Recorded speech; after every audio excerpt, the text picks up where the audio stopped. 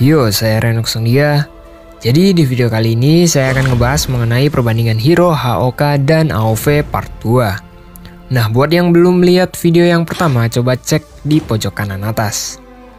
Oke, langsung aja yang pertama. Chi dan Dharma.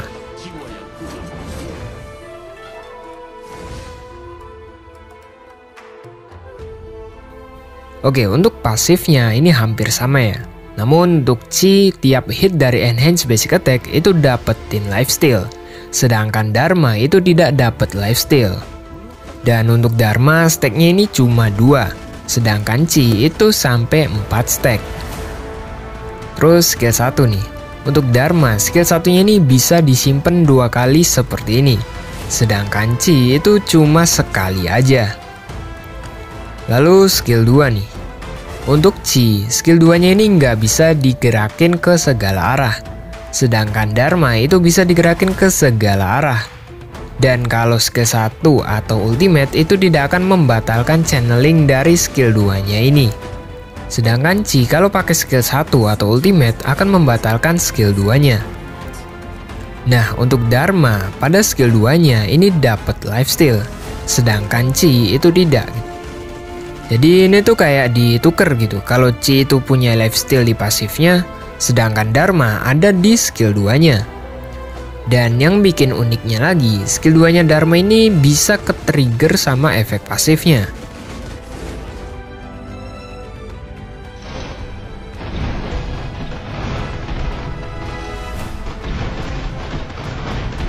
Kemudian ultimate. Untuk Chi, ulti fase keduanya akan terbuka apabila membuat target nabrak ke tembok. Atau kalau nggak kena tembok juga bakal kebuka sih, tapi dapat cooldown. Sedangkan Dharma, ulti fase keduanya ini malah muncul di skill satunya. Ya mungkin biar sama-sama ngedes kali ya. Dan untuk Dharma ini kalau targetnya nggak nabrak tembok, ya skill fase keduanya ini nggak bakalan muncul gitu. Next ada Paine dan Simai.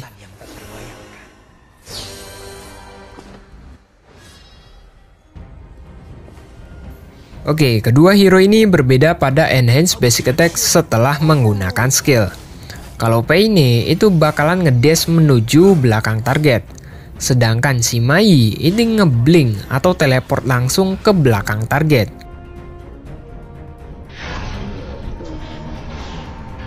Nah, pasifnya Paine yang ini kena nerf. Sebelumnya memang sama-sama ngeblink ke belakang gitu. Tapi sekarang pasifnya Paine jadi ngedes. Next ada Omen dan Fuzi.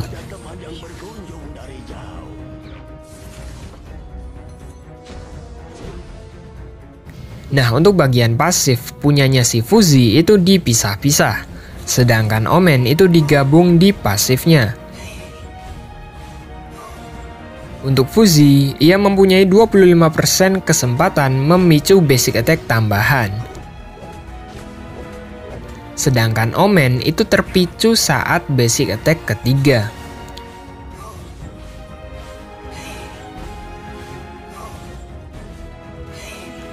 Oke, selanjutnya ada Valhen dan Direnji.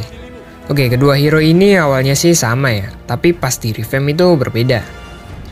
Dan sekarang yang sama dari kedua hero ini cuma pasifnya, yaitu basic attack ketiga akan ditingkatkan. Dan tiap stack dapat peningkatan movement speed. Dan untuk Valhen itu ada tiga jenis peluru, yaitu merah, biru, dan kuning. Sedangkan di Renji cuma dua, yaitu merah dan biru. Untuk skill satunya Valhen akan menyerang menggunakan peluru merah dan skill duanya untuk peluru kuning. Sedangkan di Renji pada skill satunya ini mirip kayak ultinya Valhen. Cuma bedanya di sini ia melempar peluru pasif. Kemudian di skill 2-nya ia melempar peluru pasif ke segala arah. Dan untuk ultimate-nya, ia melempar sebuah kartu yang kalau kena musuh, musuh tersebut akan dapat stun dan mengurangi defensifnya. Next ada Zepis dan Zilong.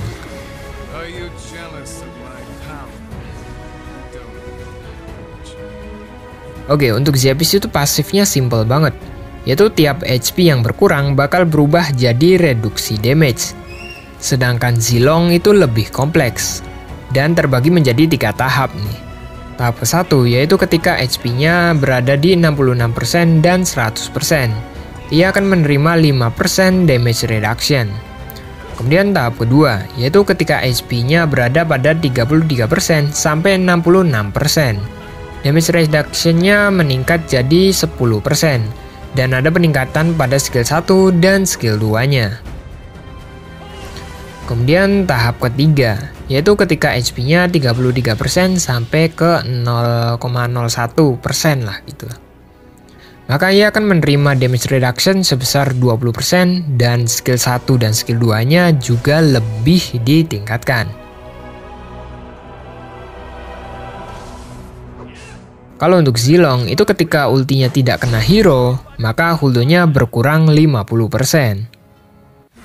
Sedangkan Zepis ini mau kena hero atau tidak, ya huldonya tetap sama segitu gitu.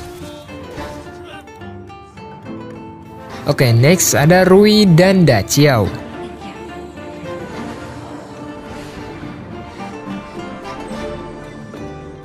Nah, perbedaan yang sangat terlihat ialah Da Chiao itu punya 4 skill, sedangkan Rui itu cuma punya 3. Hmm, nih buat yang nggak tahu aja ya. Dari dulu, AoV itu cuma punya 3 tombol skill. Berbeda dengan Honor of Kings dan MOBA mobile lainnya gitu. Nah, karena AoV itu cuma punya tiga skill, maka skill ke-1 dan skill ketiganya Daciao itu digabung dan digunakannya itu bergantian gitu. Dan bukan cuma Daciao aja, ada hero lainnya seperti Prince of Lanling, Ganmo, dan Yuhuan yang akan kita bahas berikutnya. Nah, untuk skill 2 dan ultinya itu masih sama. Cuma untuk ultinya Daciao ini kita lebih tahu posisi kita di mana gitu. Oke, okay, next ada Kaine dan Prince of Lanling.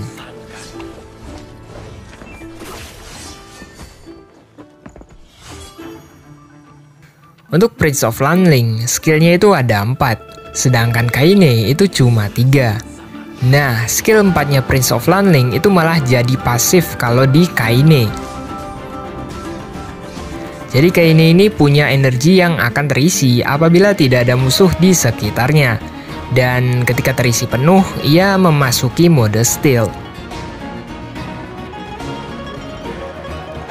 Untuk ultimate dari Kaine, ini punya efek tidak bisa ditarget, yang artinya tidak bisa kena damage dan sisi. Sedangkan Prince of Landing itu cuma ngedes biasa.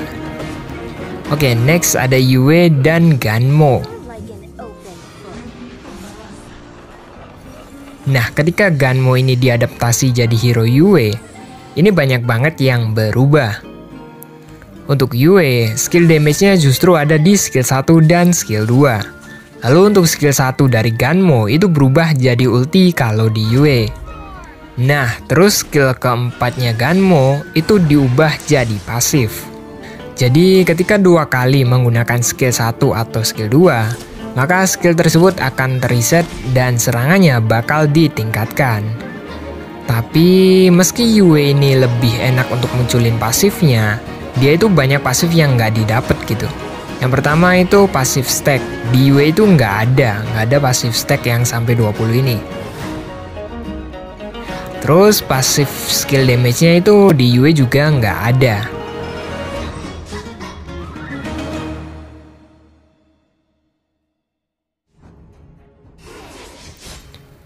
Oke, okay, next ada Sepera dan Yuhuan.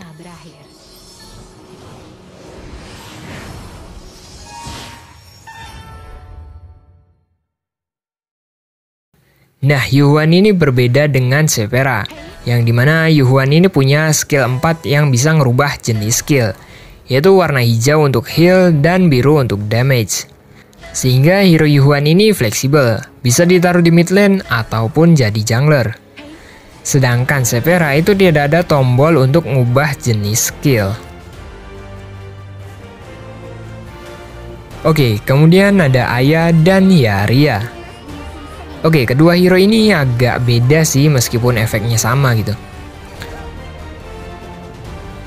kita mulai dari pasif. Untuk Yaria, ia akan berubah menjadi rusa ketika menerima sisi. Sedangkan Aya, dia akan berubah ketika HP-nya berkurang jadi 40%. Terus untuk skill 1, kalau Yaria itu mengeluarkan bola yang bisa menarget musuh dan memberikan knockback singkat. Sedangkan Aya, dia memberi damage area yang lumayan besar dan ngasih efek slow. Lalu untuk skill yang naik ke hero steam, kalau Aya itu malah di skill 2. Jadi dari awal game si Aya ini bisa langsung nebeng ke hero temen. Nah, ketika di atas hero, Yaria bakal ngasih shield yang dapat menangkis semua jenis damage. Maka dari itu warna shieldnya kuning. Sedangkan Aya itu cuma ngasih shield biasa yang bisa ditembus oleh true damage.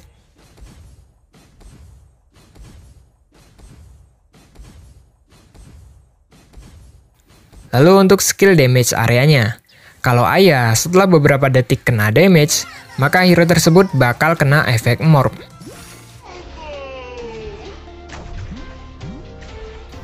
Sedangkan Yaria itu tidak punya efek seperti ini. Oke, mungkin segini aja untuk video kali ini. Saya Renox Songliga, see you on the next video. Bye-bye.